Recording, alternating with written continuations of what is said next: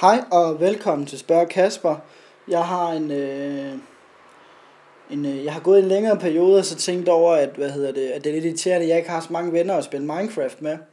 Så øh, hvis I har nogle server, man kan spille inde på eller noget, jeg kender ikke rigtig til nogen, sådan, jeg har bare mere spillet i øh, øh hvad hedder det i øh, øh, hvad hedder det, sådan LAN, eller ikke LAN, men alene og sådan noget. Men hvis I har det, så må I godt skrive servernavnet til mig en privat besked, så vil jeg gå ind og kigge på dem og sådan noget.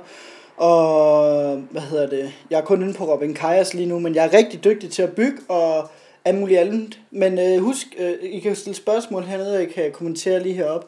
Og, eller I kan, øh, I kan kommentere hernede med spørgsmål og sådan noget, så kan I abonnere lige heroppe. Og så husk, at I kan skrive, øh, I kan husk at skrive en, hvis I har en servernavn eller noget, så husk at skrive det til mig i, øh, i privat besked.